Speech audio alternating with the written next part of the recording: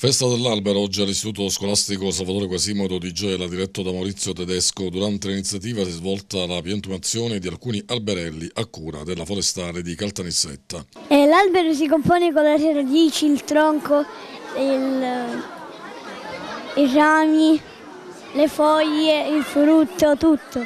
Rappresento uh, con questo abito un, un, sacchetto della raccolta differenziata perché noi riciclando le cose così salviamo gli alberi e non, e non casiamo le frane.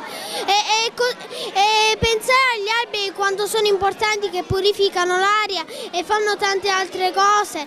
So, è, è, davvero importante che la gente debba, debba capire l'importanza degli alberi. Gli alberi sono degli elementi importanti per la natura e ci aiutano a vivere meglio. Noi siamo un gruppo di colleghi che continuamente andiamo sulle scuole, come questa specifica scuola, andare a fare educazione ambientale, rispetto dell'ambiente, rispetto della legalità attraverso l'ambiente. Quindi siamo, siamo sempre con i ragazzi.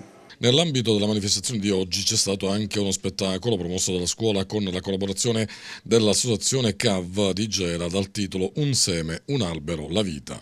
È importante che i ragazzi siano educati sin dalla più tenera età al rispetto eh, dell'ambiente e più in generale, se vogliamo, anche di tutto ciò che eh, è comune, perché oggi eh, quello che il grosso problema nella nostra città è che il bene comune non viene visto come una cosa propria, della quale avere estrema cura, ma come una cosa che è di tutti e quindi è di nessuno. E quindi a partire da ecco, una riflessione sul, sul, rispetto della natura e dell'ambiente, eh, credo che si possa eh, certamente estenderla eh, a eh, una visione più generale sul, sul, rispetto della cosa comune. La scuola è invece apprendere, conoscere e crescere le regole della vita. Oggi credo che qui il dirigente scolastico della Cosimo, il dottor Tedesco, ha messo in pratica questa fondamentale regola, una scuola che serve a far crescere uomini e non solo esclusivamente dei contenitori di conoscenza.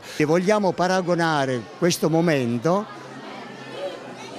della festa dell'albero al, al momento in cui quest'uomo e questa donna danno origine a una nuova creatura umana.